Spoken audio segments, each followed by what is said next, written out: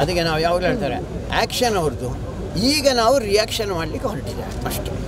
ಅದಕ್ಕೋಸ್ಕರ ಅವರು ಮಾಡಿದಂಥ ಅನ್ಯಾಯಕ್ಕೆ ನೀವು ಹತ್ತಿರ ಬರಬೇಡಿ. ನೀವು ಅನ್ಯಾಯ ಮಾಡ್ತಾನೆ ಇರಿ. ನಮಗೇನು ತೊಂದರೆ ಇಲ್ಲ.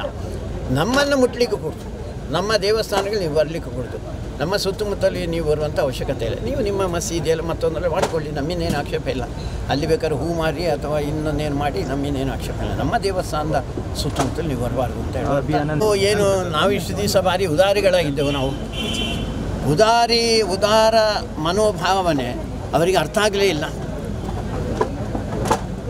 ಎರಡು ಸಾವಿರದ ಎರಡರಲ್ಲಿ ಎಸ್ ಎಂ ಕೃಷ್ಣನ ನೇತೃತ್ವದಲ್ಲಿದ್ದಂಥ ಸರ್ಕಾರನೇ ಕಾಂಗ್ರೆಸ್ ಸರ್ಕಾರನೇ ಅದನ್ನು ತಂದಿರೋದು. ನೂರು ಮೀಟರ್ನೊಳಗೆ ಯಾವುದೇ ಮುಸಲ್ಮಾನ್ ಅಂಗಡಿ ಇಡಬಾರ್ದು. ಯಾಕೆಂದರೆ ಅವರಿಗೂ ಅವಾಗ ಆ ಸಂದರ್ಭದಲ್ಲಿ ಇವರು ಅನ್ಯಾಯ ಮಾಡ್ತಾರೆ ಅಂತ ಗೊತ್ತಿರಬೇಕು. ಸಿದ್ದರಾಮಯ್ಯನಿಗೆ ಗೊತ್ತಾಗಲಿಲ್ಲ. ಡಿ ಕೆ ಶಿ ಶಿವಕುಮಾರಿಗೆ ಗೊತ್ತಾಗಲಿಲ್ಲ.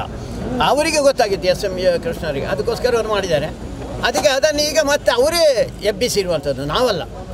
ಇಡೀ ಇವತ್ತೆಲ್ಲ ಘಟನೆಗಳೆಲ್ಲ ಏನು ನಡೀತಾ ಇದೆ, ಇದರಲ್ಲಿ ಹಿಂದೂಗಳ ಪಾತ್ರ ಭಾರಿ ಸಣ್ಣ. ಅದಕ್ಕೆ ನಾವು ಯಾವಾಗಲೂ ಹೇಳ್ತಾರೆ, ಆ್ಯಕ್ಷನ್ ಅವ್ರದ್ದು. ಈಗ ನಾವು ರಿಯಾಕ್ಷನ್ ಮಾಡಲಿಕ್ಕೆ ಹೊರಟಿದೆ ಅಷ್ಟು. ಅದಕ್ಕೋಸ್ಕರ ಅವರು ಮಾಡಿದಂಥ ಅನ್ಯಾಯಕ್ಕೆ ನೀವು ಹತ್ತಿರ ಬರಬೇಡಿ, ನೀವು ಅನ್ಯಾಯ ಮಾಡ್ತಾನೆ ಇರಿ, ನಮಗೇನು ತೊಂದರೆ ಇಲ್ಲ. ನಮ್ಮನ್ನು ಮುಟ್ಲಿಕ್ಕೆ ಕೊಡ್ತು.